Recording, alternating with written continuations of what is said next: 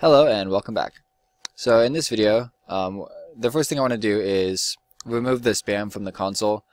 When, when we play, um, it's putting to the console every time an enemy loses health and every time we gain score. So to, to fix that, go ahead and go into the console and then double click on the spam. And that'll take you to the exact line of that print message. And I'm just going to comment those out. Um, later, if we want them back, we can just delete the comment lines. Um, but having it commented out will prevent it from printing to the console.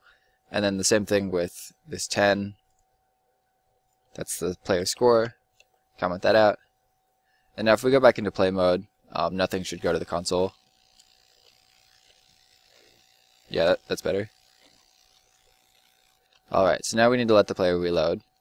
And I also want to print the number of bullets to the screen, so I'm going to do that first. So go to the canvas, and go back to the scene view.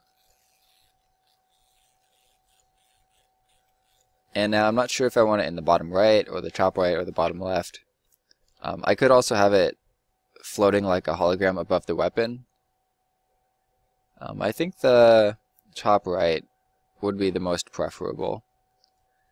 So let's go ahead and take this high score, duplicate, and drag that over. And now I want it to align right.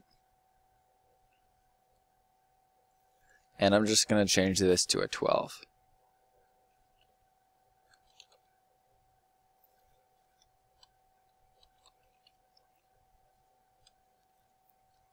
Now, um, I might, I might want something like this where I have, like I'll, I'll, I'll drag it over a little bit, duplicate it, and then have a slash.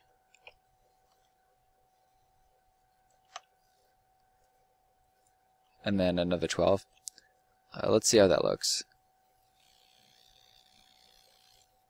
That's not bad. Um, I want to make sure I change the anchoring on all three of those to the top right.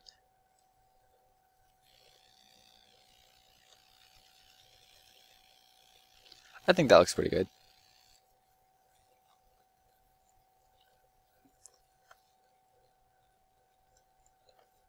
Alright, and then change this one to text slash um, text underscore current bullets and text underscore max bullets.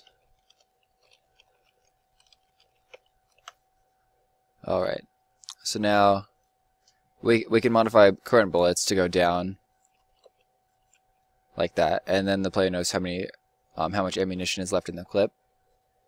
And I, I don't like how disorganized this is getting, so I'm just going to create an empty game object and call this score and take the first four and drag them onto that and the same thing for ammunition.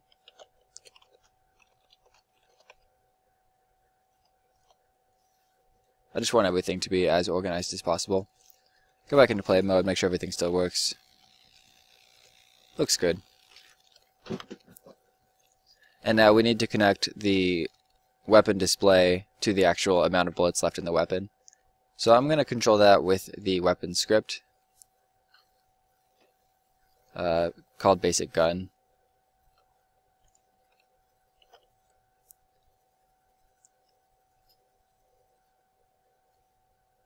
And I could put that here. I think I'm just going to put it in the basic update loop. So I'll, I'll just put it right here.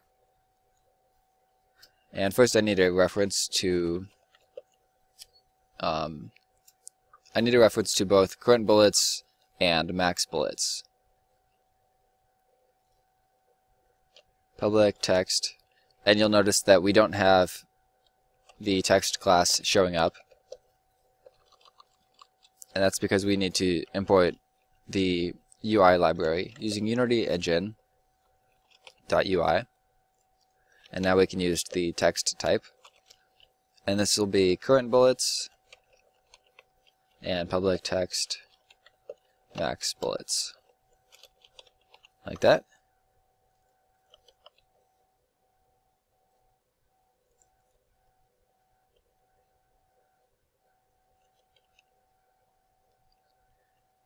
And now all we need to do to update this display is current bullets dot text.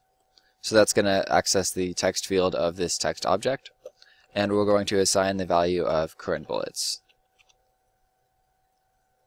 Or I mean, sorry, we're going to assign the value of clip remaining dot toString.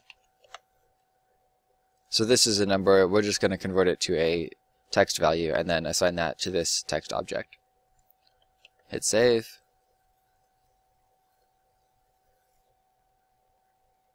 And something breaks. Oh, that's because we have to go into Sci-Fi Rifle and make sure we uh, correctly assign these fields. So we need current bullets here and max bullets here. Go into play mode, and this should change from a 9 to a 12, and it did. And now you can see it goes down as we fire until we reach 0. Alright. So, now we need to let the player reload. I think I'm going to put that in the next video. So thank you guys for watching, and tune in next time for player reloading.